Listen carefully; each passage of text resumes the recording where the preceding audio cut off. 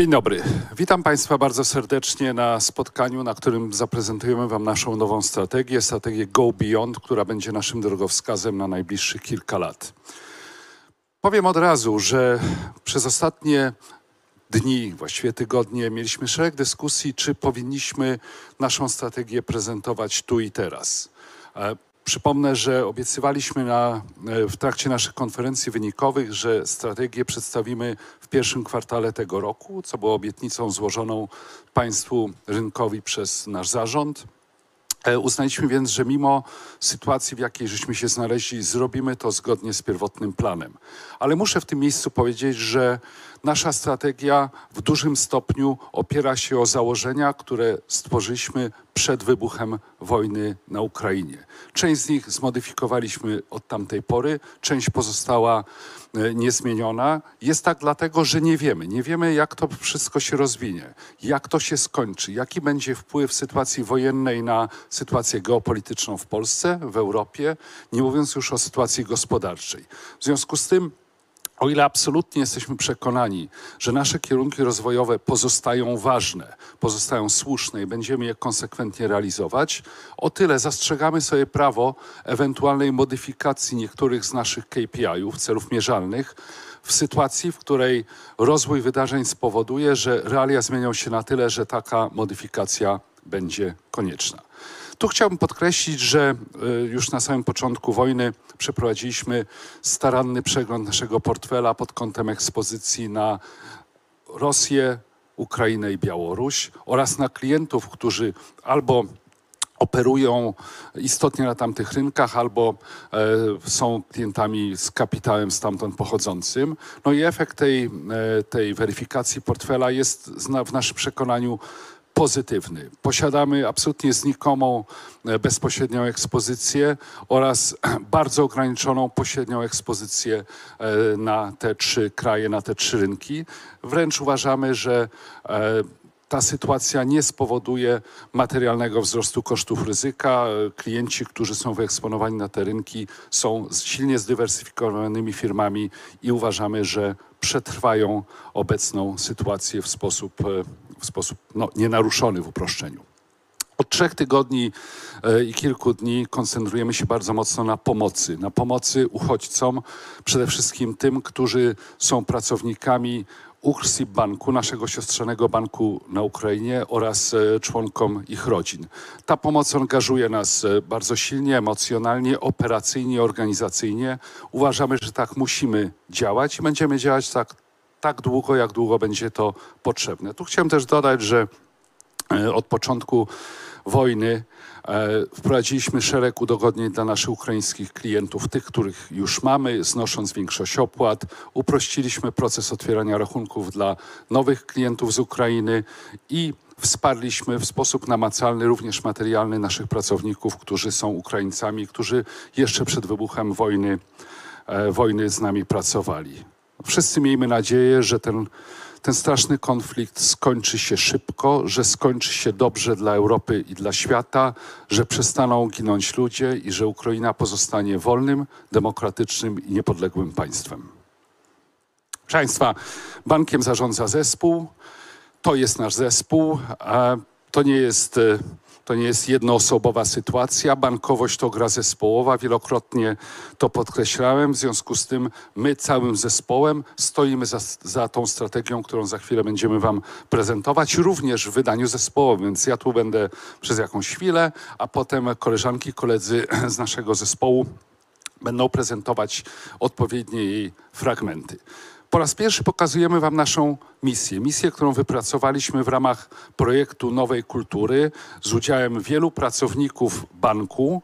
Ja ją odczytam, żeby tu nie było żadnych niedomówień. Uważam, że jest to misja dobrze napisana, odzwierciedlająca to, co chcemy osiągnąć, to, w co wierzymy i jak będziemy działać. Wprowadzamy pozytywną bankowość w życie naszych klientów, odpowiadając na ich potrzeby finansowe i ułatwiając im realizację celów w sposób prosty, przemyślany i bezpieczny, z troską o społeczeństwo i środowisko. Jak zobaczycie Państwo za chwilę, wiele z tych myśli krótkiej naszej misji wybrzmi e, w trakcie omawiania naszej strategii. Plan na dzisiaj jest taki, cztery bloki. Porozmawiamy o naszym obecnym otoczeniu, przypomnimy, kim jesteśmy, spojrzymy na strategię Go Beyond i na inicjatywy strategiczne, którą, które realizację tejże strategii nam umożliwią. Proszę Państwa, świat się zmienia wielowymiarowo, wielopoziomowo.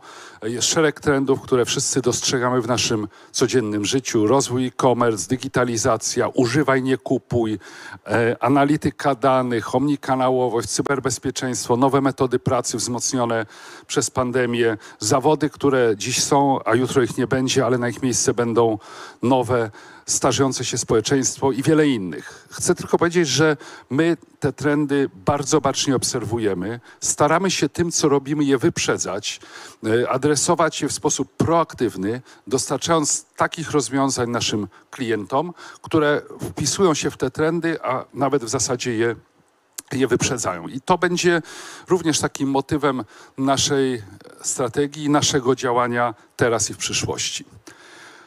Proszę Państwa, klimat. Nie mamy chyba wątpliwości, że global warming jest faktem. Widzimy, jak zmieniła się pogoda w Polsce. No, ci, którzy są plus minus w moim wieku, pamiętają surowe zimy, minus 20 i śnieg po pas. Tego już nie mamy. Mamy za to niemalże tropikalne lata. Zachowania proklimatyczne, zachowania zgodne ze standardami ESG wymuszą na nas nasi klienci, wymuszą na firmach, klienci, którzy są coraz bardziej świadomi i deklarują coraz większą gotowość kupowania produktów i usług tylko tych wytwórców, którzy działają w sposób odpowiedzialny, którzy o klimat, o środowisko dbają nieustannie, dla których jest to jedna z najważniejszych rzeczy, strategicznych rzeczy, a nie rzeczy CSR-owych. E, my Wierzymy, że jesteśmy frontrunnerem, że jesteśmy liderem, jeśli chodzi o odpowiedzialny, zrównoważony rozwój. E, dużo zrobiliśmy w, tej, w tym obszarze, będziemy robić coraz więcej. Chciałem tylko przypomnieć, że od kilku dobrych już lat nie finansujemy węgla, nie finansujemy brudnej energetyki, nie finansujemy hodowli zwierząt futerkowych. E, uważam, że jest to nieetyczne. Finansujemy natomiast z pasją projekty energii odnawialnej, zarówno te bardzo duże, jak i te małe, indywidualne, które pozwalają prosumentom na instalacje e, fotowoltaiczne na, na, dachach prywatnych domów. I będziemy robić tego coraz więcej. Warto też pamiętać, że ESG, co też się będzie pojawiało w naszej strategii, to nie tylko środowisko, to również społeczeństwo, to również ład korporacyjny, odpowiednie standardy zachowań i to jest dla nas fundamentalne, to jest dla nas bardzo ważne. Makro. Jest z nami Michał Dybuła, nasz główny ekonomista, który dołączy do zespołu w trakcie pytań i odpowiedzi. Trochę mu tu odbieram chleb. Chcę tylko powiedzieć, że Zmienność i niepewność czasów powoduje, że niezwykle trudno jest przewidzieć jednoznacznie scenariusz makroekonomiczny na najbliższe lata. W związku z tym my zdefiniowaliśmy kilka tych scenariuszy. Jest ten bazowy, który powstał przed e, wybuchem wojny, jest ten mocno pozytywny, jest taki bardzo pozytywny. E, nie wiemy dziś, jak rozwinie się nasza gospodarka, nie wiemy, jak rozwinie się inflacja. E, zakładamy, że stopy pójdą jeszcze w górę. Natomiast wierzymy, że polska gospodarka okaże się na tyle odporna i na tyle dynamiczna, że mimo wyzwań, które e, są wywołane obecną sytuacją, pozostanie na ścieżce wzrostu, aczkolwiek ten wzrost może być niższy niż pierwotnie żeśmy zakładali. Tu widzicie Państwo taką bardziej pogłębioną analizę wpływu poszczególnych czynników na to, co się z gospodarką stanie. Ja nie będę przez to przechodził. Podkreślę tylko, że zresztą widać z koloru strzałek. Większość z nich jest czerwona, czyli raczej wpływ będzie negatywny czy na gospodarkę, czy na poziom inflacji, ale jest też szereg pozytywnych oznaczonych kolorem zielonym. Znowu, czas tylko pokaże, które siły będą dominujące jaki będzie całościowy wpływ obecnej sytuacji na gospodarkę w Polsce, w Europie i na świecie. Bardzo wiele zależy od tego, jak i kiedy wojna się skończy, na ile kraje cywilizacji zachodniej będą dalej zjednoczone, będą spójnie działać i będą wspierać się nawzajem. Wierzę, że tak będzie. Proszę Państwa, wyzwania dla sektora bankowego. Tu są dwa, jest ich oczywiście więcej. Pierwsze to to, które się przewija co chwilę w mojej wypowiedzi, czy niesłychana zmienność świata jako jedyny pewnik, jako jedyna kotwica, zmienność cen, zmienność poziomów kursu, zmienność otoczenia geopolitycznego, pandemia, o której do tej pory nie wspominaliśmy, to, co muszą robić banki, to, co muszą robić liderzy w tych bankach, to w sposób szybki, elastyczny, zdecydowany dostosowywać się do zmieniających się realiów, reagować szybko, zdecydowanie proaktywnie, nie bać się podejmować e, odważnych decyzji. Nie ma innego wyjścia. Działanie w oparciu o długoterminowy plan, niekorygowane po drodze, no, nie daje wielkich szans powodzenia. Drugim wyzwaniem, o którym tu mówimy, to kredyty e, mieszkaniowe w walutach obcych, głównie oczywiście we franku szwajcarskim. Problem historyczny, czasami mówimy o nim legacy, który w dalszym ciągu tkwi, w sektorze. Również e, jesteśmy uczestnikami tego wyzwania. E, obciąża wyniki banków poprzez tworzone rezerwy na ryzyko prawne.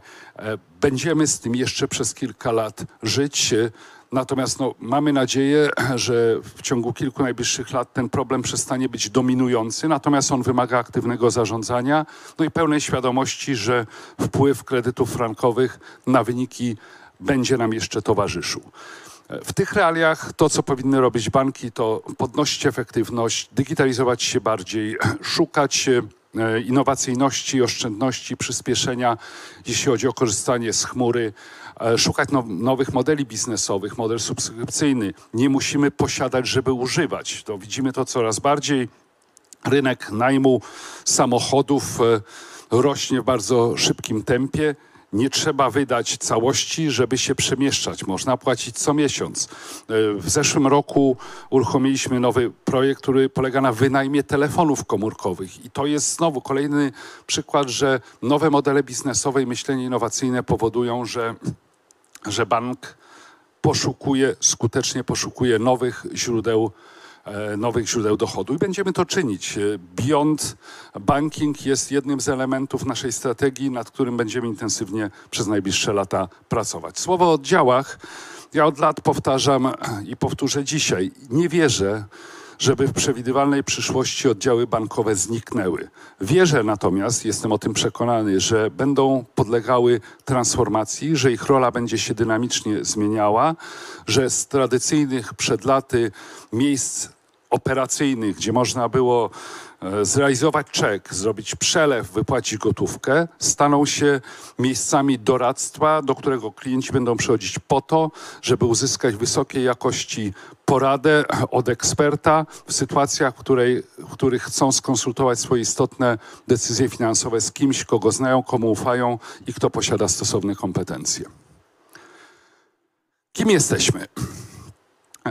Grupa BNP Paribas Jesteśmy częścią tej grupy, jest to nasz wiodący strategiczny akcjonariusz, największa grupa bankowa w Europie i jedna z największych na świecie. E, jeżeli spojrzymy na sumę aktywów ponad 2,6 tryliona euro, no jest to poziom trudny wręcz do wyobrażenia. Zyskowna, o wysokim poziomie zwrotu na kapitale, zdywersyfikowana i 200 latach historii. No jestem dumny, że mamy takiego rodzica, który wiem, że może nas wesprzeć, kiedykolwiek będziemy tego potrzebować, a jeśli chodzi o biznes, idee, rozwiązania, wspiera nas na bieżąco. My e, oczywiście Dzisiaj rozmawiamy przede wszystkim o banku i naszych spółkach zależnych. Jest to strategia grupy BNP Paribas Bank Polska S.A. Natomiast nie zapominajmy, że w ramach grupy BNP Paribas działa w Polsce szereg innych wyspecjalizowanych spółek, które pozwalają nam pod jednym dachem, pod jednym logo zaoferować naszym klientom szereg rozwiązań cało, całościowo jest to kompleksowy pakiet właściwie trudno wymyśleć produkt czy usługę, której my pod flagą BNP Paribas nie jesteśmy w stanie efektywnie i skutecznie klientowi dostarczyć. Proszę Państwa, jak żeśmy się zmieniali? W 2017 roku byliśmy średniej wielkości bankiem, wciąż kończącym integrację po połączeniu się BNP Paribas Bank Polska, tego dawnego z bankiem BGŻ. Dziś, cztery lata później, jesteśmy dużym bankiem. Jesteśmy szóstym bankiem, jeśli chodzi o e, sumę bilansową w Polsce. Jesteśmy bankiem, który bardzo istotnie poprawił szereg swoich parametrów biznesowych, pozyskał wielu nowych klientów, dużo bardziej zdigitalizowanym, co też widać e, w dynamice użytkowników naszej bankowości mobilnej. Jesteśmy liczącym się graczem, który zbudował skalę w efekcie fuzji i przejęć, pozwalającą na dalszy dynamiczny wzrost i rozwój organiczny. I nasza strategia Go Beyond, ona jest strategią o rozwoju, ona jest strategią o dalszym pójściu do przodu, ale w modelu rozwoju organicznego. Model biznesowy mocno zdywersyfikowany. Jak Państwo wiecie, jesteśmy bankiem uniwersalnym, pracujemy z wszystkimi segmentami klientowskimi, począwszy od klientów detalicznych, przez małe firmy, klientów wealth management. W tym obszarze jesteśmy e, numerem jeden na rynku, małe, średnie przedsiębiorstwa, duże firmy, korporacje i te największe, polskie i międzynarodowe. Co ciekawe, i to nie jest typowe dla e, dużych banków uniwersalnych w Polsce, jeśli chodzi o udział w przychodach, część bankowości instytucjonalnej w zasadzie jest równoważna bankowości detalicznej i mikro. Także ja mocno wierzę, że tego typu model po pierwsze czyni nas bardziej odpornymi na asymetryczne szoki, po drugie pozwala nam na wzrost i rozwój w zasadzie w każdym obszarze. I w naszej strategii chcemy rosnąć w każdym obszarze, w którym jesteśmy aktywni. Dynamika tego wzrostu może się e, lekko różnić, natomiast widzimy potencjał wzrostowy, potencjał rozwojowy w każdym segmencie klientowskim i w każdej grupie produktowej, w której działamy. Proszę Państwa, SDGs, jak to mówimy żargonowo, cele zrównoważonego rozwoju, jest ich 17, są autorstwa ONZ-u. Dla nas bardzo ważny temat. Od długiego już czasu e, prowadzimy takie ćwiczenie polegające na tym, że wszystko, co robimy, łączymy z którymś z celów e, zrównoważonego rozwoju bądź z kilkoma z tych celów. Tu macie Państwo szereg e, przykładów tego, jak my na to spoglądamy. Jeśli chodzi o zrównoważone finansowanie, dokonaliśmy dużego postępu. Mamy łącznie, łącznie udzieliliśmy 6,6 miliarda złotych kredytów e, o takim charakterze, z czego blisko 4 miliardy w samym zeszłym roku. Mówiłem już o zaprzestaniu finansowania kopalni czy elektrowni, e, brudnych elektrowni e, i tego typu wewnętrznych decyzji, jak i na nie trzeba spojrzeć w sposób taki, że one świadczą o tym, że to, co robimy, jest robione naprawdę, że mamy odwagę do tego, żeby powiedzieć, nie, nie będziemy tego robić, zrezygnujemy z przychodów, które moglibyśmy uzyskać, bo są rzeczy dla nas ważniejsze. I ta troska o środowisko, troska o otoczenie, w którym działamy, jest dla nas ważniejsza niż maksymalizacja krótkoterminowych zysków czy przychodów. Nasza nowa kultura. Zaczęliśmy pracę nad nową kulturą, nad jej definicją w zeszłym roku. Zaangażowaliśmy do tego wielu naszych pracowników, koleżanek i kolegów. Wspólnie pracowaliśmy nad tym, żeby zdefiniować nasz cel, naszą misję, którą pozwoliłem sobie Państwu odczytać, ale również zdefiniować kluczowe wartości, którymi będziemy się kierować. Transparentność, odwaga, prostota, współpraca i empowerment. Tu nie mamy wciąż dobrego polskiego odpowiednika i to są wartości, którymi żyjemy, którymi się kierujemy, które przywołujemy w naszych rozmowach, które pomagają nam na podejmowanie takich, a nie innych decyzji, pozwalają nam na y, kształtowanie własnego zachowania, bądź odwołujemy się do nich, jeżeli zachowanie kogoś chcielibyśmy y, skorygować. I no ja mocno wierzę, wierzymy jako zespół, że tylko organizacja, która stoi na mocnym fundamencie opartym o wartości i tych wartości przestrzega, ma szansę na wzrost, ma szansę na rozwój, ma szansę na uzyskanie zaufania e, swoich klientów i swoich pracowników. Proszę Państwa, dużo zrobiliśmy przez te ostatnie lata.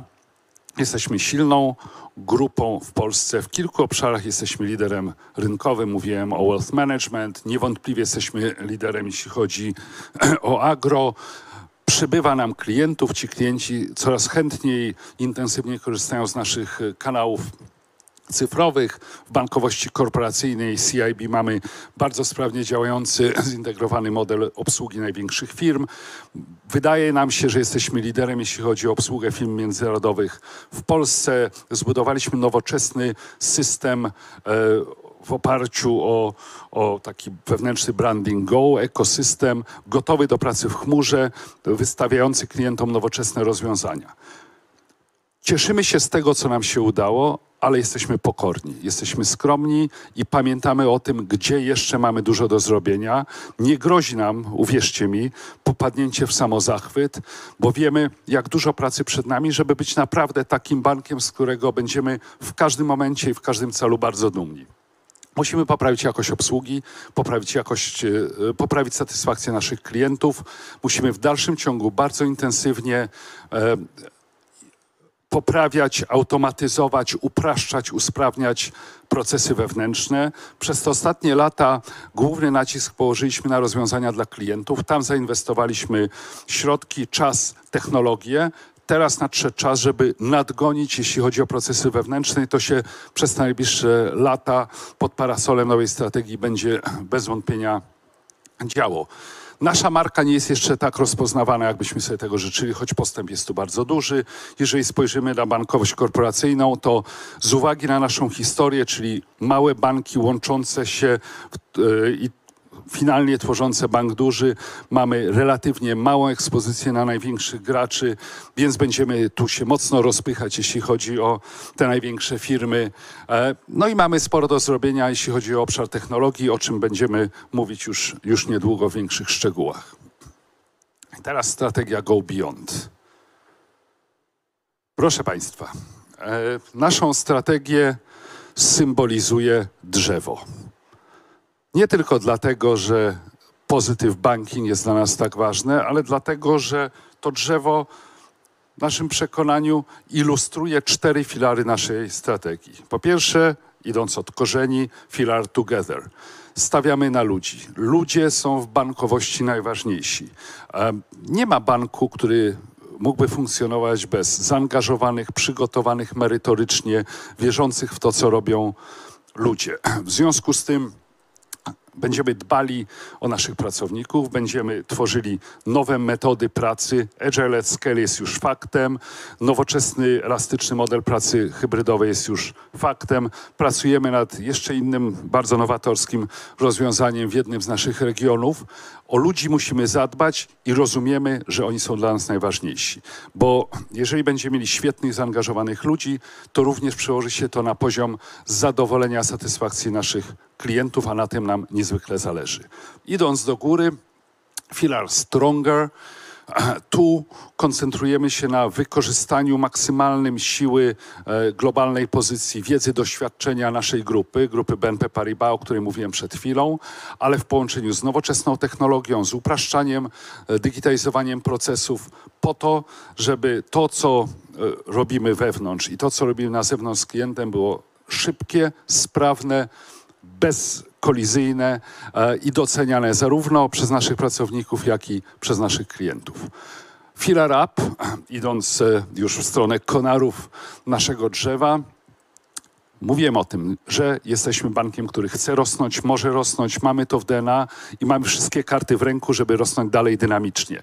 Chcemy mieć super ofertę dla klientów w każdym z segmentów, w których działamy. Wierzymy w omnikanałowość, wierzymy w to, że klient będzie decydował, którym kanałem chciałby z bankiem się komunikować e, i współpracować. W każdym z tych kanałów, który klient wybierze, musi być to super doświadczenie w związku z tym e, będziemy nad tym pracować, będziemy pracować nad spersonalizowaniem ścieżki dotarcia klienta do banku, oferty dla tego klienta, ale w sposób transparentny, jasny i bardzo etyczny. I wreszcie filar pozytyw. A ja często używam takiego zwrotu, lubię go, i dlatego go użyję znowu. Chcemy być porządnym bankiem. Bankiem, o którym ludzie mówią, tak, to jest ten bank, który mnie nie zawiódł, który dotrzymał danego słowa, który dba o środowisko, który dba o lokalne społeczności, który jest nowoczesny, ale jak potrzebuje, jest też dla mnie z ludzką twarzą. I takim bankiem jesteśmy, takim bankiem jeszcze bardziej chcemy się stawać. Na tym slajdzie widzicie Państwo trzy nasze istotne KPI strategiczne. Po pierwsze, mierzymy, celujemy w osiągnięcie poziomu zwrotu na kapitale netto ROI około 12% w 2025 roku. Po drugie, Wierzymy, że nasza strategia pozwoli nam na obniżenie stosunku kosztów do dochodów do, ma, do nie więcej niż 48% w tymże okresie, który strategia obejmuje i że udział zrównoważonego finansowania w całości naszego portfela kredytowego będzie nie mniejszy niż 10%. Tych KPI zobaczycie Państwo więcej na kolejnych slajdach. Go Beyond. Ta nazwa wygrała w konkursie, który ogłosiliśmy wśród naszych koleżanek, kolegów, e, którzy uczestniczyli w przygotowaniu tej strategii. Ona jest fajna, ona nam się bardzo podoba. Ona wyraźnie mówi o tym, że chcemy iść, chcemy myśleć poza tradycyjne ramy bankowe. Chcemy poszukiwać rozwiązań w innych światach, w innych branżach. Jesteśmy gotowi na kwestionowanie status quo. Taką chcemy też wewnętrznie być organizacją. To jest organizacja, gdzie każdy może mieć swój pomysł, gdzie każdy może challenge'ować pomysły swoich przełożonych, gdzie mniejsze znaczenie ma hierarchia, a tak naprawdę ważne jest to, jak i ile kontrybuujemy do teamu, do rozwoju banku, do naszej wspólnej przyszłości. Tyle na razie z mojej strony. Ja tu jeszcze wrócę, a teraz chciałem zaprosić na scenę Darię Gostkowską i Denisa Peku.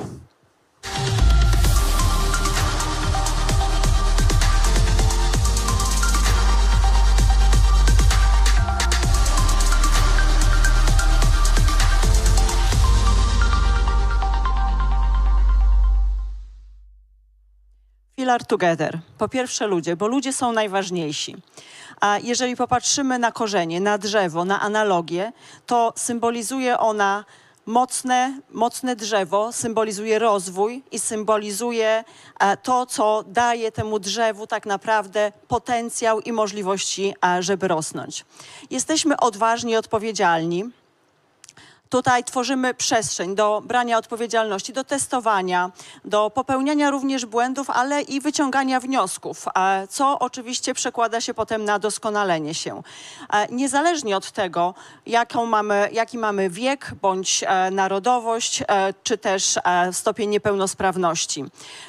Te wszystkie rzeczy przekładają się na naszą różnorodność i inkluzywną kulturę. Tutaj przede wszystkim patrzymy przez pryzmat wiedzy, doświadczenia, kompetencji i zaangażowania.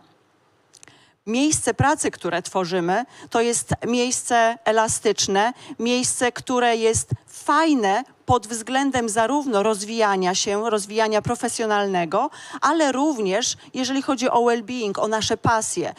Wolontariat w tej chwili e, udowodnił tak naprawdę, jak bardzo nasi pracownicy, jak bardzo my jako bank wspieramy obecne wydarzenia e, w Ukrainie nowe modele pracy, nowe modele hybrydowe. E, to są modele, które e, pokazują cały zakres. E, zakres od pracy zarówno w banku, na miejscu, ale również mogą być prawie, że w całkowitej zdalności. To, co dajemy, to dajemy elastyczność i możliwość wyboru, w zależności oczywiście od biznesu i zapotrzebowania, ale w ten sposób tworzymy środowisko pracy, które wspomaga rozwój i wspiera rozwój kompetencji przyszłości. Dlatego, że transformowanie się, a to jest nasze DNA, a digitalizacja, ale również też, e, co, co już wprowadziliśmy, to jest Agile at Scale, o którym opowie więcej nam Denis. Dziękuję, Daja. Chcemy wykonywać naszą strategię Chcemy być tutaj bardzo zwinni, taki jest nasz model operacyjny. To są właśnie te korzenie naszego drzewa, ale to jest też bardzo głęboka transformacja, którą, e, którą już wdrażaliśmy na przestrzeni ostatnich dwóch lat. Wszystkie, e, wszystkie czynności podejmowane przez bank e, właśnie w tych ramach zwinności się odbywają. Dotykają w zasadzie wszystkich, e, którzy wcześniej pracowali projektowo. Mówimy tutaj o łącznej liczbie 1300 pracowników. Jeżeli chodzi o zwinność, no to często tego słowa się nadużywa. Jeśli chodzi o takie konkretne rozumienie, w naszym przypadku jest ono następujące. Bank w tym momencie jest zorganizowany um, wokół 13 e, grup, które są dla nas bardzo ważne. Mówimy tutaj o danych, o, o open bankingu i tak dalej, i tak. I każda właśnie z Każdy właśnie z tych tribów to produkt. IT, biznes, funkcje na przykład. Jeżeli mamy zespół produktowy, przejmują pełne właścicielstwo nad projektem i funkcjonalności, które się z nim związają, e, które się z nim wiążą.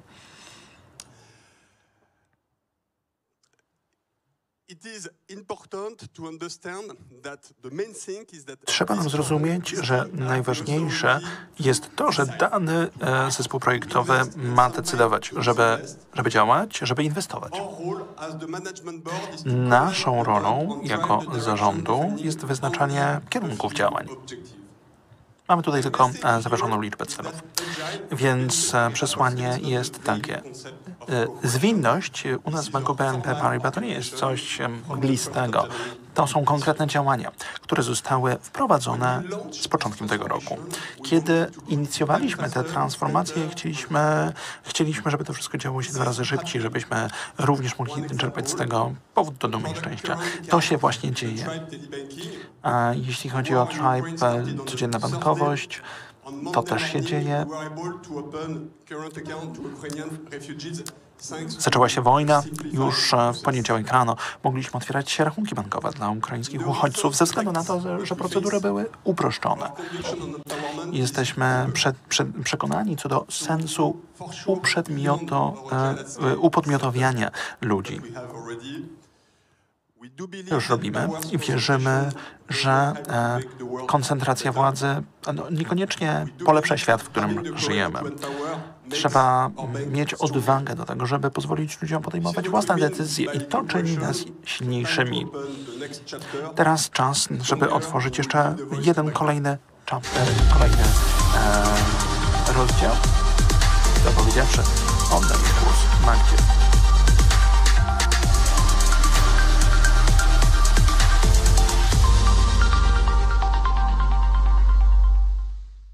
Stronger to głównie wzmocnienie współpracy z grupą BNP Paribas, ale również optymalizacja procesów i dynamiczny rozwój technologii.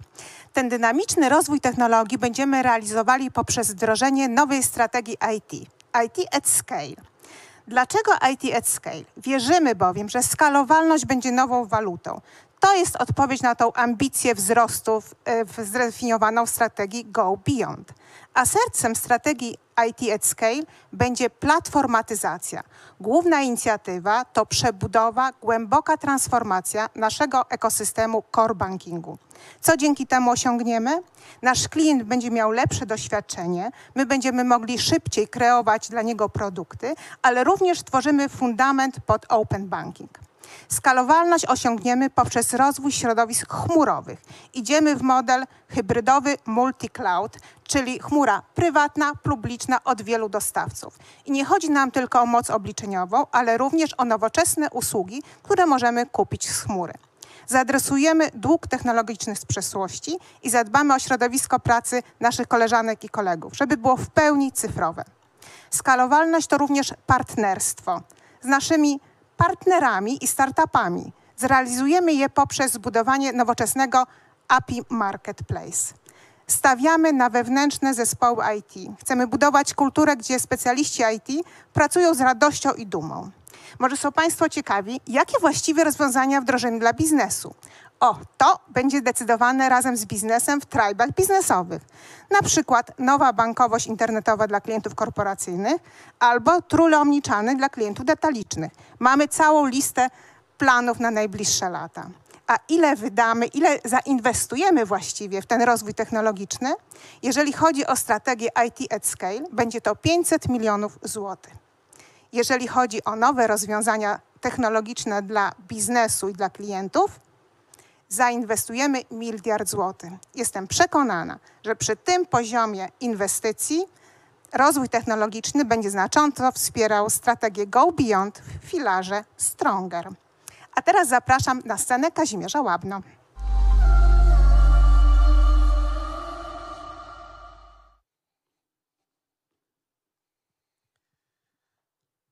Dzień dobry. Kilka zdań na temat e, jednego z kluczowych elementów e, warunkujących realizację strategii, czyli optymalizacji kluczowych procesów. Podchodzimy do tego w sposób niezwykle uporządkowany, ponieważ chcemy przebudować wszystkie procesy, które są najistotniejsze z punktu widzenia klientów. Wyodrębniliśmy takich procesów 38, z czego 9 już w tej chwili optymalizujemy od zeszłego roku. Co chcemy zrobić? Chcemy uczynić te procesy łatwiejszymi, szybszymi, bardziej efektywnymi, e, mierzalnymi oczywiście, ale to, co jest najważniejsze, to chcemy te procesy uczynić o wiele bardziej przyjaznymi i dla naszych klientów, i dla naszych pracowników. Tak jak powiedziałem, ten proces wystartował. Przypisaliśmy wszystkie procesy do poszczególnych tribów, ale nie oznacza to, że w tych tribach działamy samodzielnie. Działamy w zespołach, które obejmują zarówno biznes, jak i operacje, jak i IT, jak i ryzyko, czyli podchodzimy do tych procesów niezwykle kompleksowo. Z przebudową procesów jest związany także drugi element, którym jest gruntowna przebudowa całego back-office'u, całych operacji. Chcemy to oprzeć na trzech takich głównych elementach. Pierwszy z elementów to ujednolicony frontend dla operacji. Budujemy nowoczesny, innowacyjny system Enterprise Workload Management, który będzie w pełni zintegrowany z systemami biznesowymi. Oznacza to, że poszczególne aplikacje będą w sposób płynny przechodzić od samego początku aż do samego końca do zaksięgowania w systemie, w systemie głównym. Również wprowadzamy dużo zmian organizacyjnych, jeżeli chodzi o obszar operacji, to znaczy operacje wychodzą z silosa i są bardzo blisko biznesu z jednej strony, a z drugiej strony podnosimy element multiskillingu, czyli umiejętności pracowników do podejmowania działań w różnego rodzaju obszarach, co jest szczególnie ważne w sytuacji, kiedy mamy do czynienia e, z pikiem różnego rodzaju e, aplikacji, głównie e, z końcem miesiąca. I ostatni element niezwykle ważny to dalszy rozwój robotyzacji, sztucznej inteligencji oraz chatbotów. Tu chcemy to bardzo rozwinąć, wprowadzając około 50 nowych robotów i e, rozwiązań ze sztucznej inteligencji każdego roku. A teraz poproszę na scenę Jean-Charles Aranda.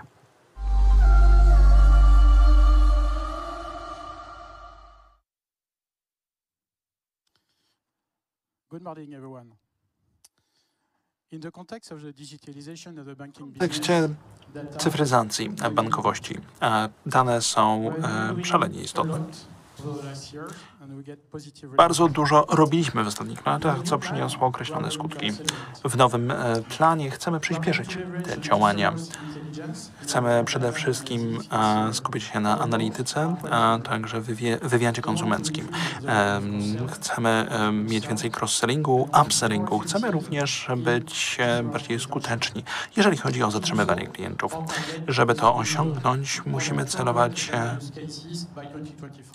Use cases by 2025. em, zwiększyć naszą liczbę use case'ów o 200, powyżej 200 do 2025 roku. Koncentrujemy się również na big data. Chcemy, żeby ten komponent był większy e, i również te technologie powinny być wdrożone. Nasze laboratorium AI e, będzie e, również działało w takim scentralizowanym środowisku, żeby to przełożyło się na lepsze zorganizowanie operacji. Będziemy również e, w sposób zdyscyplinowany zajmować się zarządzaniem dany- danymi. Będziemy koncentrowali się na mm, jakościowym monitoringu danych. I ostatnia wreszcie sprawa. Zmieniamy i zmienialiśmy e, bardzo dużo w przestrzeni ostatnich lat. Musimy również uprościć dlatego naszą architekturę danych. Jeden system finansowy na przykład. Go beyond e, dla danych. W tym ujęciu co to znaczy? Będzie to ważne z perspektywy procesów i automatyzacji. Kazik będzie szerzej mówił o tym zagadnieniu. Management. Analityka danych e, i fundamenty w tym zakresie będą wdrażane. I jeszcze jedna, jedno zagadnienie. Em, Będziemy, będziemy wdrażali standardy prawne w kontekście sztucznej inteligencji dla naszych klientów. Silniejsi, co to jeszcze oznacza? Oznacza to mianowicie, że chcemy e, zapewnić bezpieczeństwo, jeżeli chodzi o kwestie kapitałowe i to jest na pewno kwestia nie do, e, nie do przecenienia. to grow and to invest. Chcemy, żeby bank się rozwijał i żebyśmy mogli dalej prowadzić inwestycje. Is to pay out up to 50% of the net Będziemy, em, s- będziemy mieli em, wskaźnik wypłaty dywidendy na poziomie 50%. To jest bardzo duża zmiana, a także ważny cel. Chcemy, capacity żeby nasi udzia- e, akcjon- akcjonariusze mogli spokojnie inwestować. Jeżeli chodzi o finansowanie, nasze finansowanie będzie się opierało głównie na em, depozytach instytucjonalnych i em, detalicznych. Jeżeli chodzi o kapitał, co to znaczy w tym ujęciu Go Beyond? W ostatnich dwóch latach mm, mamy, mamy informacje o zyskowności i tak dalej. To było ciekawe zadanie, udało nam się to zrobić. Teraz tę analitykę powinniśmy przełożyć na konkretne decyzje, a także poprawę, jeżeli chodzi o jakość procesów. E, Zarządzanie kapitału e, również dobrze, dobrze łączy się z e, naszym, naszym filarem a także z następnym filarem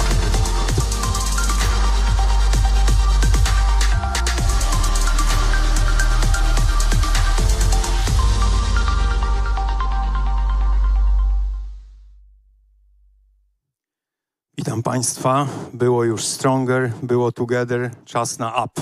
Czyli przesuwamy się w stronę konarów, przesuwamy się w stronę wzrostu. I o tym z moim kolegą, koleżanką i pozostałymi kolegami przez najbliższe kilkanaście minut Państwu opowiemy. Zaczynając od y, klientów y, detalicznych, bo w obszarze app mówimy o tym, żeby mieć więcej zadowolonych klientów, którzy korzystają z naszych produktów i korzystają, co ważne, w omnikanałowym świecie z nowoczesnych rozwiązań.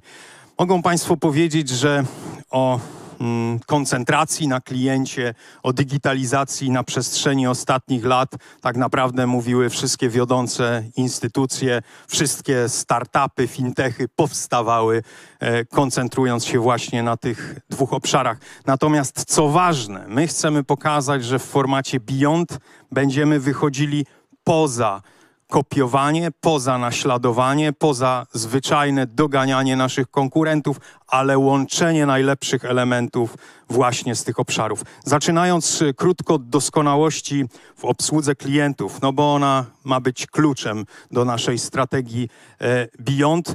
Była mowa o tym, że z jednej strony chcemy być lokalni i pokazywać, że jesteśmy blisko naszego tutaj środowiska, w tych małych miasteczkach, w których mamy ciągle bardzo wiele oddziałów. Z drugiej strony korzystając z parasola największej międzynarodowej e, grupy w obszarze, w obszarze euro.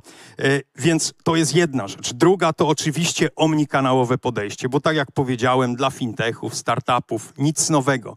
Ja zwrócę jednak uwagę na to, że wiele, wielu z Państwa ma na pewno doświadczenia w tym obszarze i wiecie, że kiedy chcecie się tam dodzwonić, a już zupełnie spotkać w formacie tych trudnych, skomplikowanych momentów we współpracy z tymi, jest to niezwykle uciążliwe, jeżeli czasami niemożliwe. W naszym formacie, kiedy z jednej strony powiemy o digitalizacji, czyli zdalnych procesach, które tworzymy, ale z drugiej strony o życzliwych ludziach w contact center, e, w oddziałach, którzy w tych trudnych momentach, kiedy potrzeba porady, kiedy trzeba rozwiązania problemu, będą, będą do dyspozycji naszych klientów. I wreszcie trzeci element beyond w tej, w tej odsłonie to to, że chcemy również beyond, to znaczy poza horyzont czasu. To znaczy chcemy koncentrować się na obsłudze przez pokolenia. Od pierwszego kieszonkowego naszego nastolatniego klienta, który przychodzi i otwiera z nami swój rachunek, e, pierwszy rachunek w życiu, oczywiście do tego emeryta, który pobiera zasłużoną emeryturę wynikającą z tego, że przez lata z nami e, współpracował. I dzięki właśnie tym rozwiązaniom najdalej w roku 2025. Chcemy być dysku, bezdyskusyjnie to wśród, wśród top trzech banków, które są najbardziej rekomendowane przez klientów na rynku. A teraz jak będziemy akwirowali i skutecznie zapraszali tych klientów? Wowa, bardzo proszę. Dziękuję, Przemek. Rozwijając produkty i procesy, inspirujemy się naszymi klientami. To klienci są tym, co stawiamy na pierwszym miejscu, a oni nadają priorytet y, y, kanałom zdalnym i dlatego na pierwszym miejscu stawiamy w naszych inwestycjach właśnie rozwój klientów i procesów cyfrowych. Robimy to dla banku i dla naszych partnerów oczywiście. Pracujemy nad personalizacją, uproszczeniem naszych produktów i procesów. Udostępnimy je naszym klientom zaledwie jednym kliknięciem. Proste dla klienta oznacza zaawansowane technologicznie dla banku. Dlatego skupimy się na udoskonaleniu naszych umiejętności, zdolności technicznych, przetwarzania danych, danych w dyspozycji banku i danych dostępnych na zewnątrz dzięki bankowości otwartej. Będziemy pracowali nad rozwojem umiejętności w cyfryzacji i robotyzacji. Będziemy e, poza e, tradycyjną bankowością. Poprzez organizację z konkretnych platform, dedykowanych platform, będziemy obsługiwali potrzeby e, naszych klientów. I to współpracy wewnątrz grupy oraz poza nią. Wszystko to umożliwi rozwijanie naszej bazy klientów aż do po 4,5 miliona klientów. A sprzedaż będzie rosła poprzez właśnie te kanały cyfrowe i na nich się skupiamy. Będziemy pozyskiwali nowych klientów poprzez te kanały cyfrowe, budując cyfrowe relacje. Liczymy, że ponad 50% naszej sprzedaży będzie odbywała się właśnie przez kanały cyfrowe na podstawie produktów właśnie cyfrowych. Ponadto będziemy promować zrównoważony i odpowiedzialny, e, odpowiedzialną konsumpcję poprzez doradztwo, poprzez świadczenie konkretnych usług finansowych wyjdziemy poza tradycyjną bankowość. A to za sprawą tworzenia procesów, produktów, poprzez wspieranie naszych klientów w podróży e, ku statusowi Dziękuję. klienta zielonego. Wowa oczywiście, mimo tego, że czasami mówimy różnymi językami, pochodzimy z różnych krajów, jak widzicie Państwo, mamy wspólny cel w naszej strategii. E, I tak naprawdę zobaczyliście, o jakich liczbach i o jakich skali klientów e, w obszarze e, klienta indywidualnego.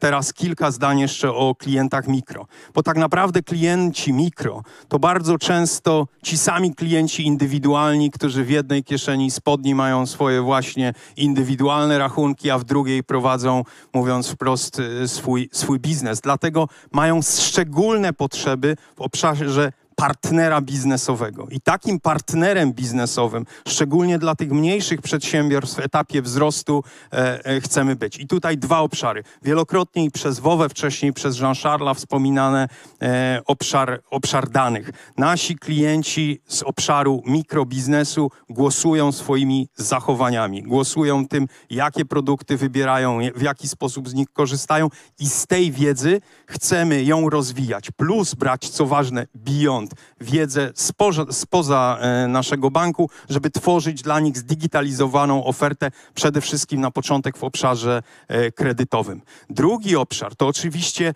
skuteczne zapraszanie e, tych klientów nie tylko do produktów bankowych, które są standardem na rynku, tylko drugi obszar, znowu beyond, wychodząc rzeczywiście poza naturalną i oczywistą ofertę bankową, bo ci klienci, jak powiedziałem, potrzebują całościowego wsparcia, partnerstwa i tam miejsce na księgowości, tworzenie y, y, płatności zdalnych, czy tworzenie sklepów w e-commerce, czy wsparcie ich w tych obszarach.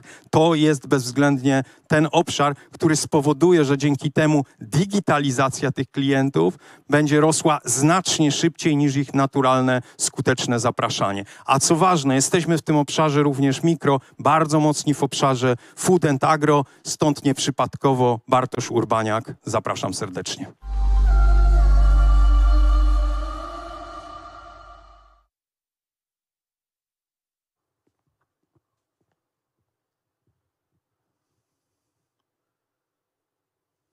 Dzień dobry.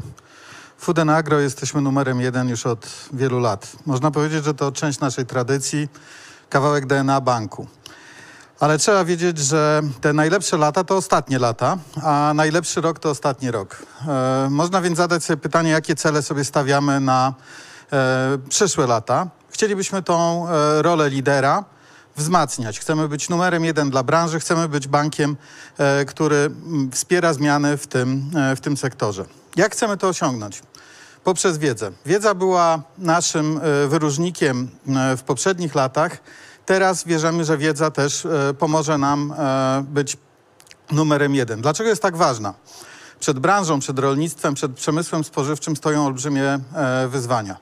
Bez zmian e, w rolnictwie, bez zmian w przemyśle spożywczym, walka o klimat, prawdopodobnie o poprawę klimatu nie uda się. E, To jest coś, co jest absolutnie niezbędne do tego, żebyśmy e, poprawili ziemię jako miejsce, w którym żyjemy.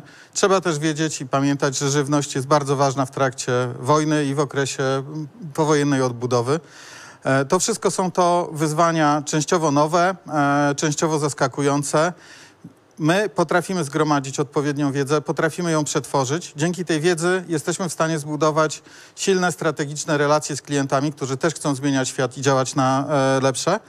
Potrafimy też e, przy pomocy tej wiedzy i chcemy edukować rynek tak, aby mocno zaznaczyć swoją ro, lo, rolę lidera, tego, który e, wspiera e, zmiany. Wreszcie tą wiedzę chcielibyśmy mm, parametryzować, automatyzować i digitalizować, tak aby była ona łatwo dostępna dla naszych pracowników, prosta w użyciu e, i żeby przynosiła no, wręcz spektakularne efekty. I e, ostatnim takim elementem strategii chcielibyśmy wspierać digitalizację naszych relacji z klientami. Już teraz nasz portal Agronomist jest uważany za jedno z najbardziej wiarygodnych źródeł informacji na temat rynku. Chcielibyśmy, żeby stał się czymś więcej. Chcielibyśmy, żeby stał się miejscem, w którym ta wiarygodność powstaje, gdzie e, buduje się zaufanie. E, Chcielibyśmy, żeby był taką mocną, silną, tradycyjną marką w nowoczesnym, zmieniającym się świecie. Tacy byśmy chcieli być w agro. E, miejscem, gdzie łączy się tradycja i nowoczesność. A teraz na scenę zapraszam Agnieszkę Wolską i André Boulanger.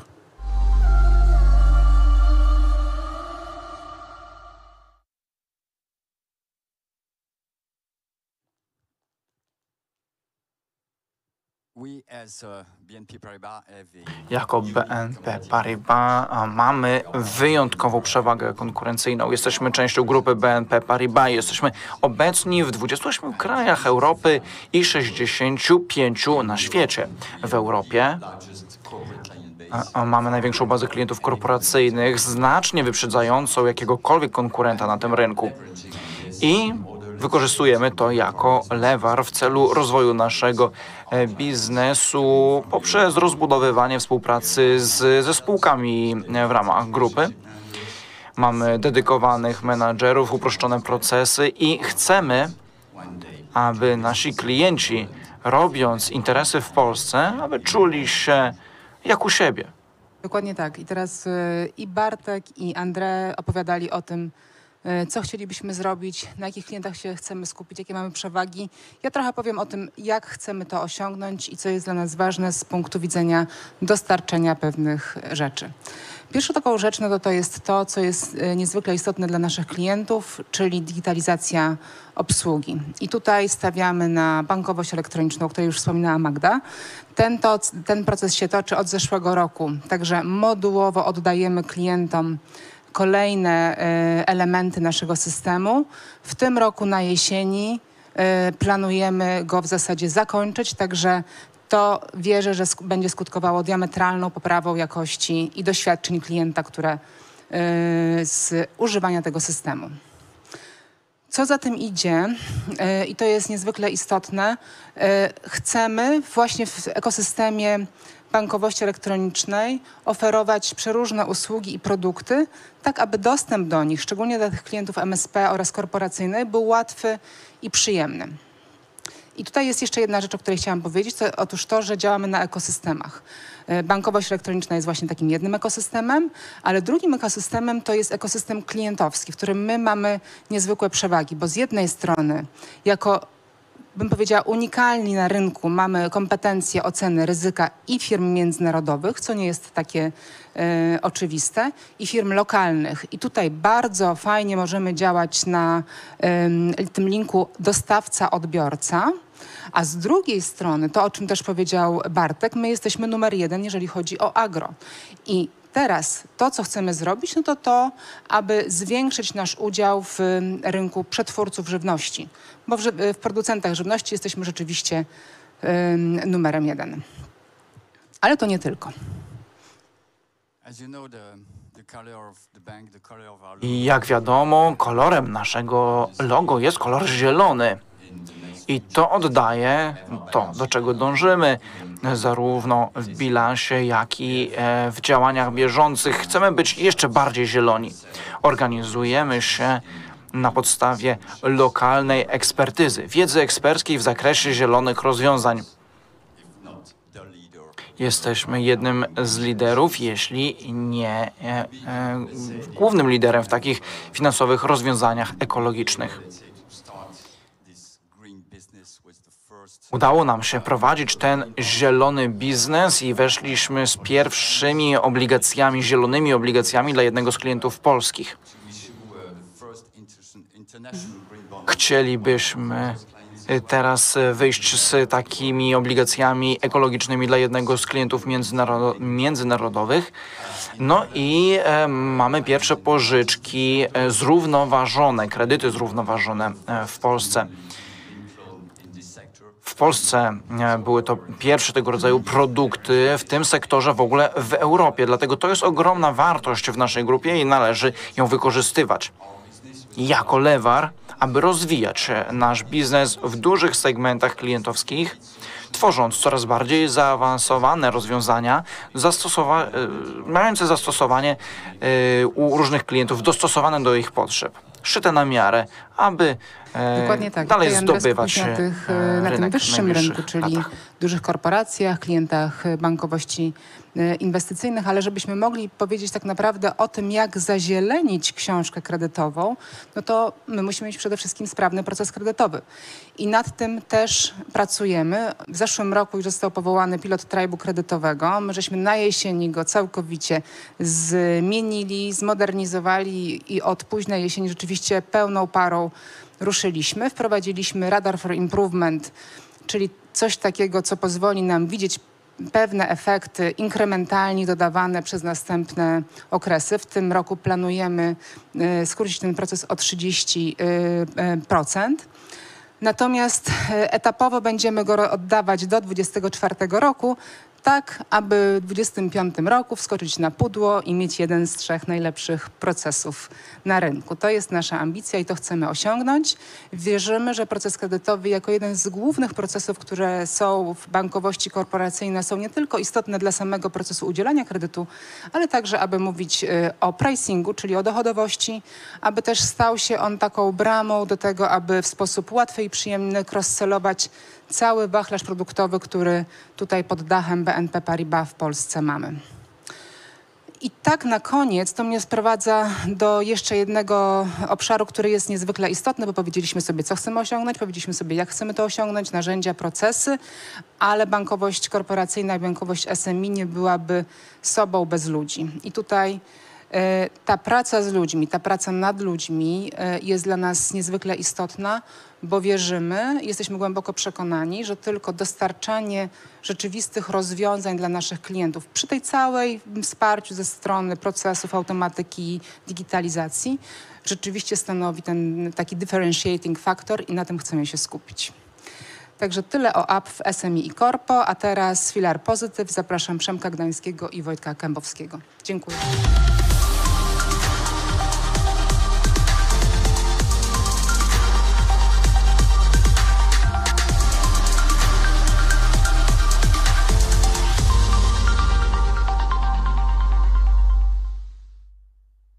Nasza polityka dotycząca zrównoważonego finansowania oraz pozytywnej bankowości będzie opierała się na trzech filarach. Będziemy chcieli wspierać naszych klientów w zrównoważonej transformacji, zapewniając im szeroki dostęp do dedykowanych rozwiązań. Będziemy chcieli wspierać produkty, które będą miały pozytywny wpływ e, na środowisko, finansując odnawialne źródła energii, zwiększając efektywność energetyczną. Będziemy promowali elektromobilność oraz kredyty e, zielone i obligacje zielone. Drugim filarem będzie wdrażanie najważniejszych, najwyższych standardów zarządzania ryzykiem ESG, które również będzie mitygowało i ograniczało ryzyko ESG w działalności e, klientów naszego banku. I trzecim filarem będzie pomiar i ograniczenie śladu węglowego dla naszego portfela e, kredytowego.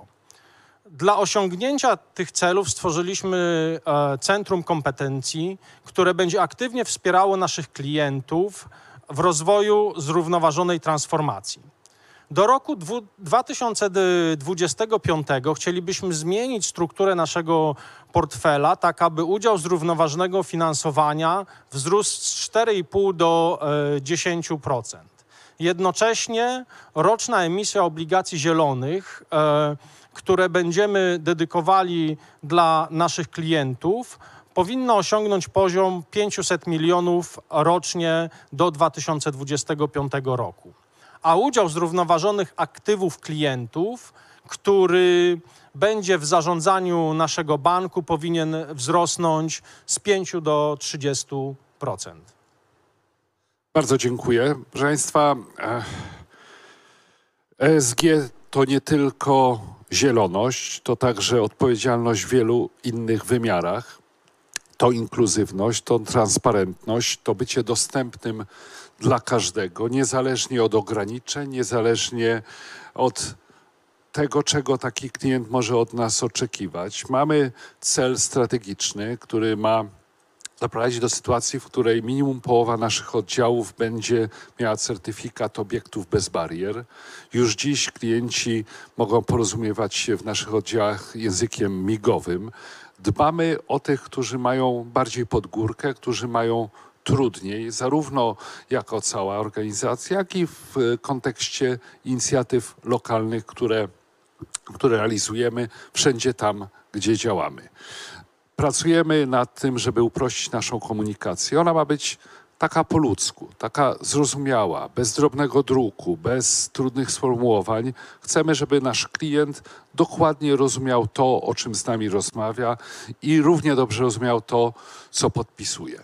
Stworzyliśmy organizację, która będzie wspierała nasze działania w zakresie e, zrównoważonego rozwoju. Powołaliśmy nowe, do tej pory nieistniejące stanowisko Chief Sustainability Officera. Tak naprawdę Jarek Krot, który to stanowisko objął, powinien stać tu, gdzie stoję teraz, ale nie może dziś być z nami. E, Mamy organizację, która z jednej strony jest centralizowana, z drugiej strony operuje przez e, właściwie ponad setkę w tej chwili ambasadorów zrównoważonego rozwoju w różnych strukturach naszego banku. Ma to zapewnić, że podejście odpowiedzialne, podejście zrównoważone, podejście zgodne z ESG będzie wszędzie towarzyszyło temu, co robimy, będzie w każdym z naszych działań, będzie częścią naszego DNA. I wierzymy, że to jest jedyny słuszny, odpowiedzialny i właściwy kierunek rozwoju. Rozwój szybki, dynamiczny, ale odpowiedzialny i zrównoważony. Wojtku, dziękuję Ci bardzo. Dziękuję.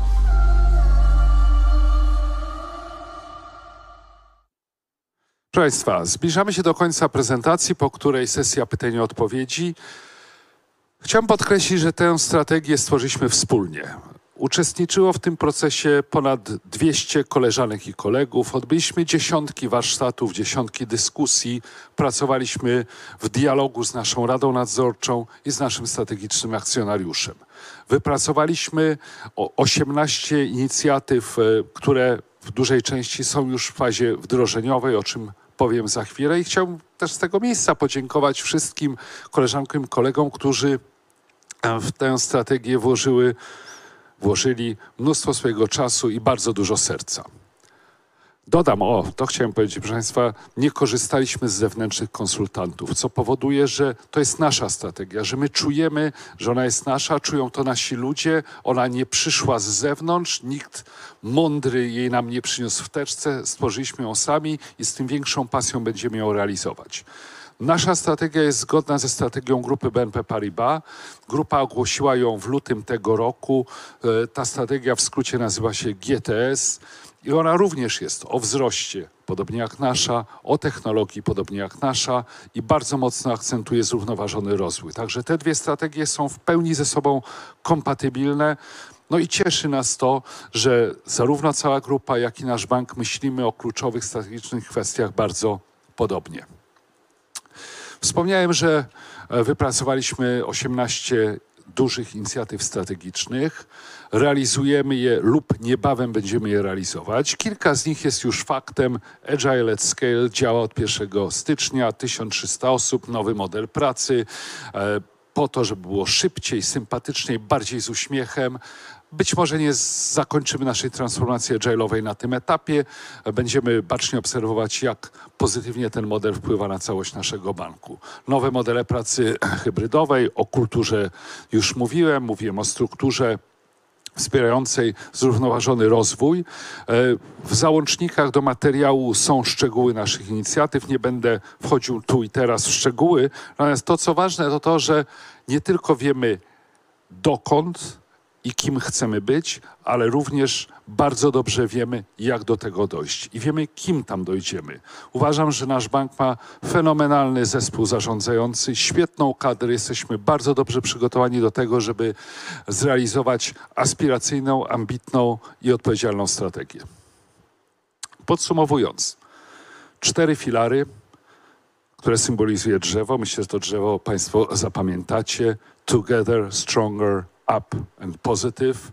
Szereg parametrów, szereg KPI strategicznych. One reprezentują zarówno dynamiczny wzrost naszego banku, jak i zrównoważony, odpowiedzialny charakter tego wzrostu.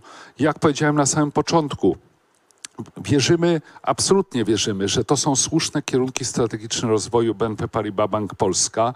Natomiast żyjemy w tak niepewnych czasach, że może zdarzyć się tak, że niektóre z tych parametrów będziemy zmuszeni zweryfikować wraz z rozwojem wydarzeń, e, a tego nie jesteśmy w stanie przewidzieć. Natomiast te, które dotyczą jakości, te, które dotyczą naszego zaangażowania społecznego, e, te, które dotyczą udziału zrównoważonego finansowania w portfelu kredytowym, wierzę, że te weryfikacji nie będą musiały e, podlegać. Podobnie rzecz się ma z tymi e, KPI-ami, które dotyczą te, zmian technologicznych i digitalizacji. Proszę Państwa, e, jak powiedziałem, wierzymy, że to jest dobry materiał, że to jest dobra strategia.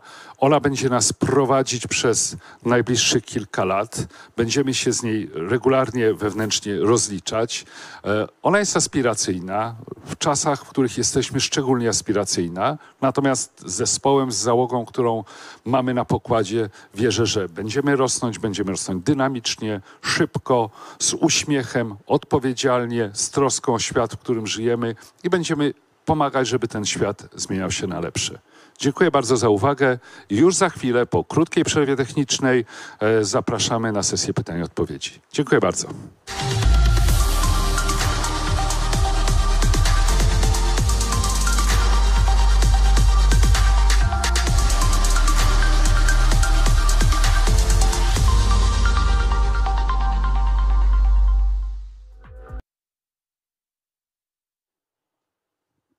Witamy ponownie po krótkiej przerwie. Proszę Państwa, pytania można zadawać na wiele różnych sposobów. Można zadawać je za pomocą wideo, można zadawać je głosem, można też za pomocą czatu. Na razie nie widzimy pytań na żywo, ale mamy kilka pytań, które przyszły na czacie i od nich zaczniemy. Natomiast jeżeli ktoś chciałby zadać pytanie na żywo, zapraszamy do jakby wejścia na żywo w dowolnym momencie. Michał Konarski. Nowa strategia opiera się głównie na rozwoju organicznym, ale czy rozważają Państwo także kolejne akwizycje, szczególnie, że integracja poprzednich akwizycji zakończyła się sukcesem? Ja bardzo dziękuję za docenienie naszych poprzednich akwizycji i integracji. E, To nie były procesy łatwe i rzeczywiście nabraliśmy w nich wprawy. Natomiast nie, nie rozważamy kolejnych akwizycji banków w Polsce.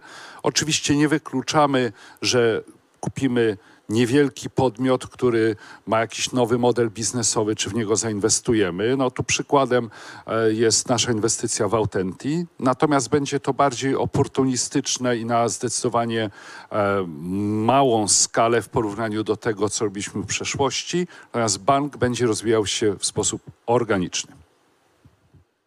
Konrad Krasuski.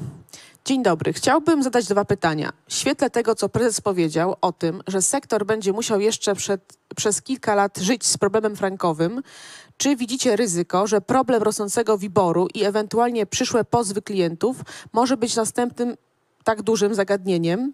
Czy dlatego BNP podwyższa oprocentowanie lokat, aby uniknąć tych dysproporcji między kosztem depozytu a kosztem kredytu?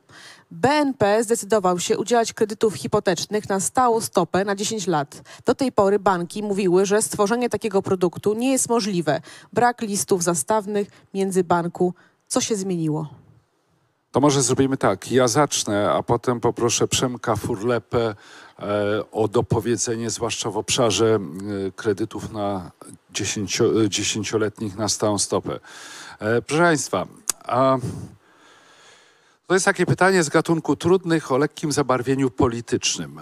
Czy w gospodarce rynkowej rzeczywiście instytucje finansowe powinny obawiać się pozwów od klientów, który, którzy w sposób świadomy brali kredyty oparte o stopę zmienną, która zawsze zmienną była, o czym bank informował ich w sposób bardzo wyrazisty, pokazując różne scenariusze jeśli chodzi o poziom obciążenia e, spłatami, obsługą długów w zależności od poziomu rynkowych stóp procentowych. No i tu chyba jest to pytanie retoryczne. Natomiast czy można wyeliminować takie ryzyko w świecie, w jakim żeśmy się znaleźli? Pewnie w 100% go wyeliminować nie można. Natomiast to, że bank oferuje kredyty hipoteczne na stałą stopę, od dawna na okres pięcioletni, od niedawna na okres dziesięcioletni i każdemu klientowi taką opcję prezentuje, to ryzyko w istotnym stopniu mityguje. E, To pytanie mi zniknęło, może jeszcze e, mogłoby wrócić, bo drugim komponentem było to, czy e, podwyżki oprocentowania depozytów są pochodną myślenia o tym ryzyku. No, no niespecjalnie, tak? E, E, Różnica między oprocentowaniem kredytu wynikającym z podwyżek stóp procentowych w konsekwencji wzrostem WIBOR-u, a oprocentowaniem depozytów e, była bardzo znacząca. W związku z tym naturalnym trendem rynkowym jest to, że ta różnica będzie się w funkcji czasu zmieniała poprzez podwyżki e, oprocentowania e, czy to rachunków oszczędnościowych, czy lokat terminowych. No i to widzimy, e, dzieje się na rynku. Nie jesteśmy tu absolutnie przykładem odosobnionym. Kredyty na 10 lat. Chciałbyś, Przemku, wziąć ten temat? Jestem, jestem do dyspozycji w tej kwestii. E, drodzy Państwo, odniosę się precyzyjnie do, e, do, do tego pytania, bo, bo pytanie jest, że do tej pory podobno, rozumiem, banki, cytuję, mówiły czy, czy deklarowały, że nie da się takich produktów stwarzać. Y, Nie byliśmy wśród tych banków, y, co potwierdzamy e, swoim działaniem, że nie tylko deklarujemy, ale robimy. A co się zmieniło? No oczywiście stopy rynkowe poszły w górę, po pierwsze. Po drugie, zareagowali na to w sposób zasadniczy klienci, to znaczy korzystając coraz bardziej powszechnie z stóp okresowo e, stałych, to znaczy pięcioletnich, które do tej pory były standardem e, rynkowym. Kiedy obserwujemy zachowania klientów, no naturalnym jest, że dokładamy produkty, które coraz bardziej odpowiadają w tej kwestii zarówno na ten punkt pierwszy, czyli podniesione stopy, ale dla nas kluczowy punkt drugi, czyli zapotrzebowanie, e, zapotrzebowanie e, klientów. No a najlepszy dowód to potwierdzający, że nasza stała stopa na 5 lat jest taka sama jak na 10 lat, to znaczy to klient ostatecznie decyduje i to ma bardzo ważny również wpływ na to, o czym Przemek mówił w pierwszej części pytania. To klient wybiera, to klient decyduje i ostatecznie naszą odpowiedzialnością jest dać odpowiednią e, paletę produktów. Kamil Stolarski. Czy bank zmieni system korowy IT? Tak jak mówiłam, e, przewidujemy w strategii IT at Scale głęboką transformację korowego systemu. To znaczy, że nie chcemy wymieniać go w ciągu najbliższych czterech lat, raczej przygotować go na przyszłość. Uważamy bowiem, że wymiana trzeciej generacji core bankingu na trzecią generację core bankingu no jakoś y, nie ma wartości dodanej. Raczej chcemy przygotować wokoło naszego core bankingu strukturę, architekturę modularną, tak że jeżeli będzie możliwość migracji do y, chmurowego czwartej generacji core bankingu, będziemy gotowi. Czyli w najbliższym tym horyzoncie ym, czasowym ym, y, chcemy zrobić głęboką transformację, a nie wymianę i zamrożenie całego jakby ekosystemu jako takiego.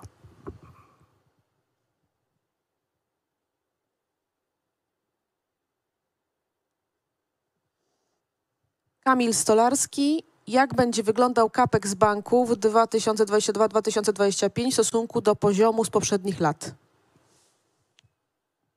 Slightly lower compared to the previous plan. We have to keep in mniejsze e, w, z, z, w odniesieniu do poprzedniego e, okresu. Musimy się e, tutaj skoncentrować na dwóch fuzjach. Musimy inwestować bardzo dużo w IT, a także i inwestowaliśmy bardzo dużo w nieruchomości. Tego nie będziemy mieli, to było w ostatnim czasie. Więc e, to jest najważniejsza rzecz, jeżeli chodzi o to porównanie. E, finansowanie będzie tutaj mniejsze w oparciu o bieżące, e, bieżące warunki. A może jakieś pytania na live'ie?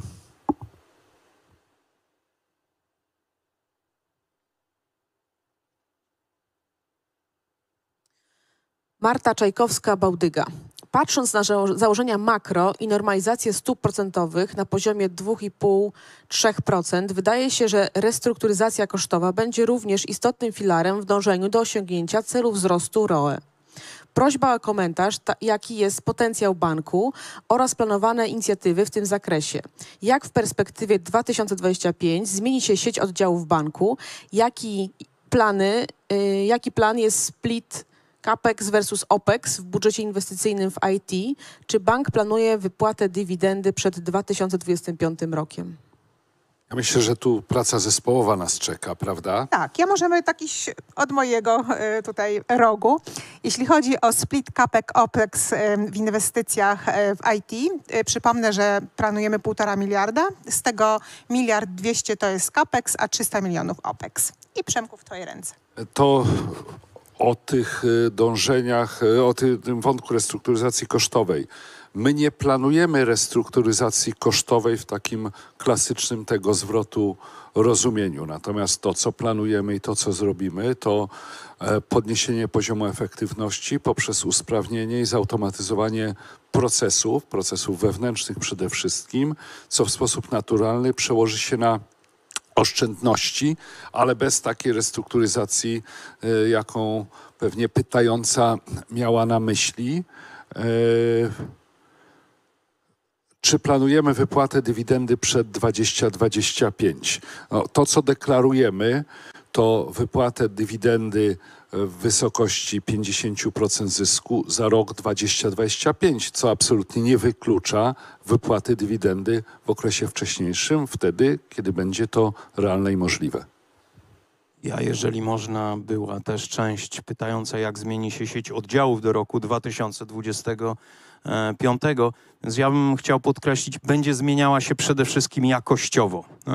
W- Największą zmianę ilościową mamy za sobą. Ja przypomnę, że w latach 18-20 byliśmy bankiem, który najszybciej odpowiadaliśmy za 40% redukcji placówek, y, y, oddziałów na, na terenie w całym, w całym systemie bankowym. W ostatnich latach to już jest bardzo, powiedziałbym, takie podejście punktowe, patrzące jak wygląda w każdym mieście nasza obecność. Bierzemy pod uwagę to, że jesteśmy bardzo często jeszcze bankiem lokalnym i mimo tego, że digitalizacja idzie w krotności, to są dziesiątki procent wyprzedzające w tej chwili dynamikę, e, dynamikę ogólnobankową, również w dziesiątki procent idzie efektywność sprzedaży w oddziałach.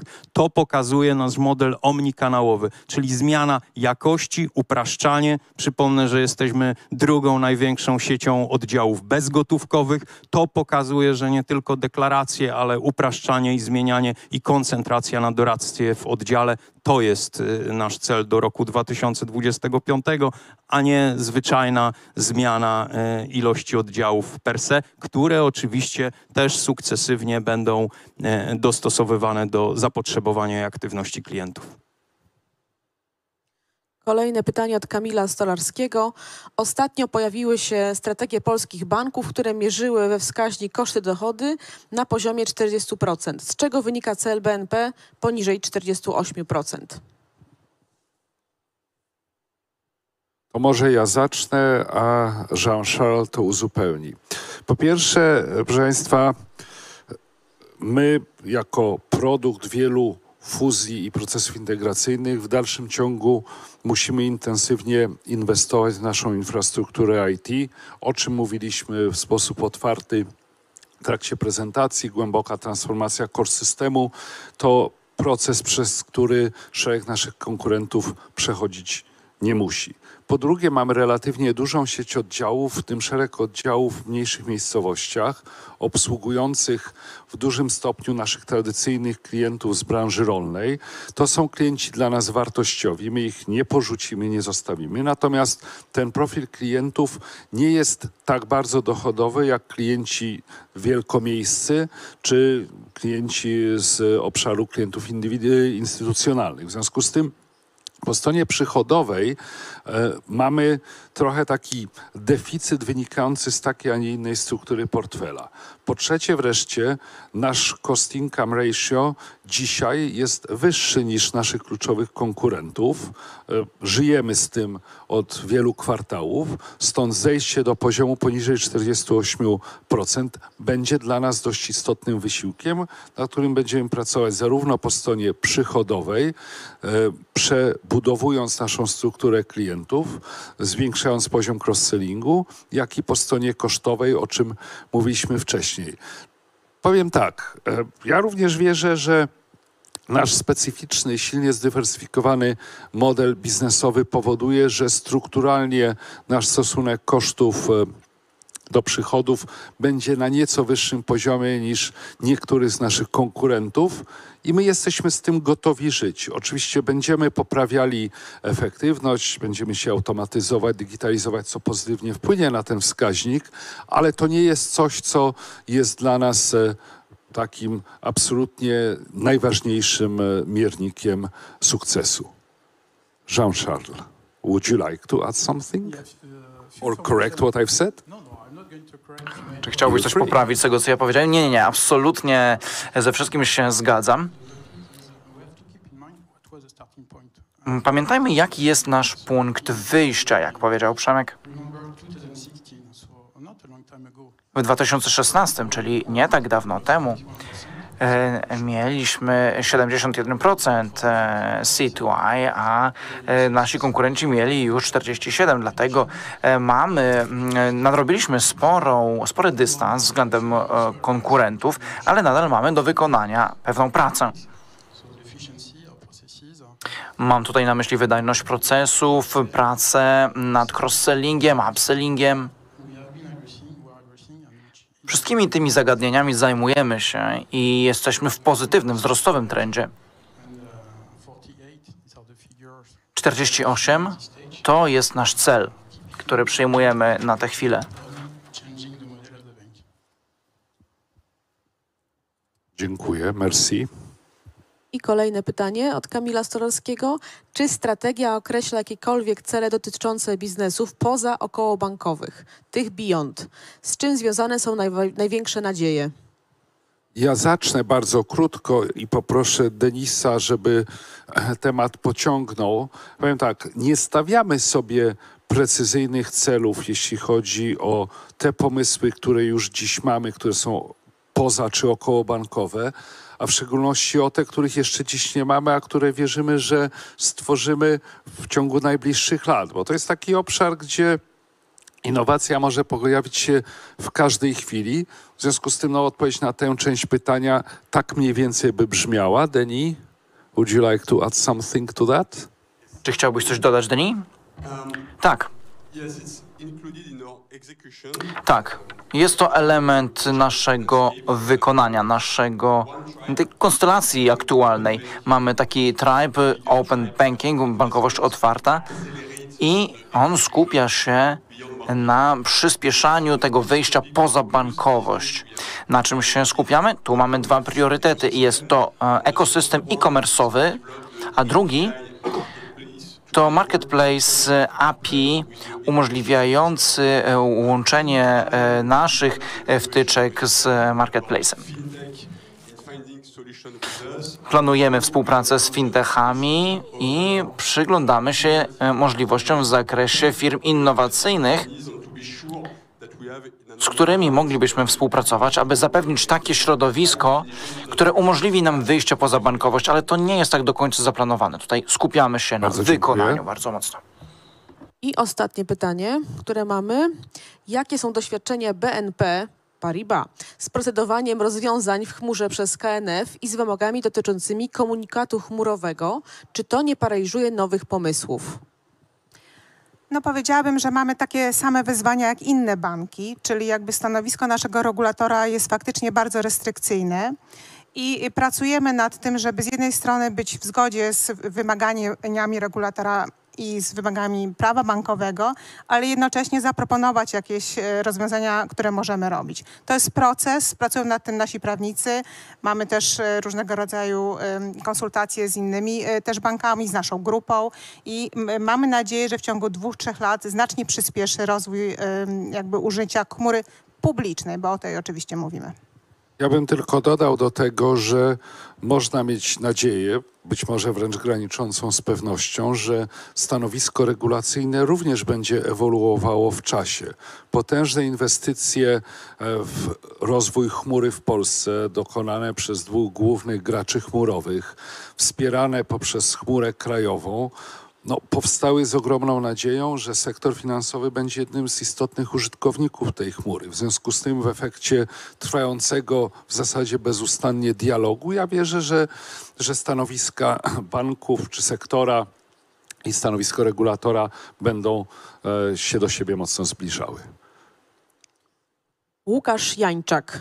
Który z postawionych przez bank strategicznych celów finansowych bądź niefinansowych jest dla banku największym wyzwaniem, takim, które może być najtrudniej osiągnąć w horyzoncie strategii? Ulala. No muszę powiedzieć, że to jest bardzo dobre pytanie. Pewnie powinniśmy sami sobie na nie wcześniej w jakim sensie odpowiedzieć. Najtrudniejsze. A może odpowiem tak bardziej filozoficznie. Słuchajcie, to dopiero najbliższa przyszłość pokaże, które z nich jest najtrudniejsze, bo my nie wiemy, co ta przyszłość przyniesie. I nagle może się okazać, że na przykład realizacja ROI w okolicach 12% będzie bardzo trudna, bo rynek w efekcie sytuacji geopolitycznej stanie się taki, w którym będzie to trudne do osiągnięcia. Może się okazać, że te cele będziemy upgrade'ować w górę, bo sytuacja rozwinie się w bardziej pozytywny sposób. E, Ja myślę, że dla nas przez te ostatnie lata sporym wyzwaniem była przebudowa procesów wewnętrznych, że mamy w organizacji bardzo silnie rozwinięte myślenie o kliencie, któremu podporządkowaliśmy dużo działań, a teraz przyszedł czas na to, żeby zmieniać się silnie wewnętrznie, co jest oczywiście mniej spektakularne i trudniej wykazać przełożenie tych zmian na wzrost przychodów, e, rentowności czy zyskowności. I to może być wyzwanie, ale bardziej w kontekście wzbudzenia takiej pasji i energii do tego, żeby te wewnętrzne zmiany zachodziły równie szybko, jak te, które wprowadzaliśmy dla naszych klientów. I to było ostatnie pytanie. bo jesteśmy już po czasie. Proszę Państwa, jeżeli tam jeszcze jesteście z nami, chciałbym w imieniu całego naszego zespołu serdecznie podziękować za udział w naszym dzisiejszym spotkaniu. Jesteśmy jak zawsze otwarci na pytania, komentarze, wszelakiego typu sugestie. Trzymajcie kciuki za naszą strategię, a my obiecujemy, że zrobimy wszystko, żeby dowieść ją z pełnym sukcesem. Dziękujemy.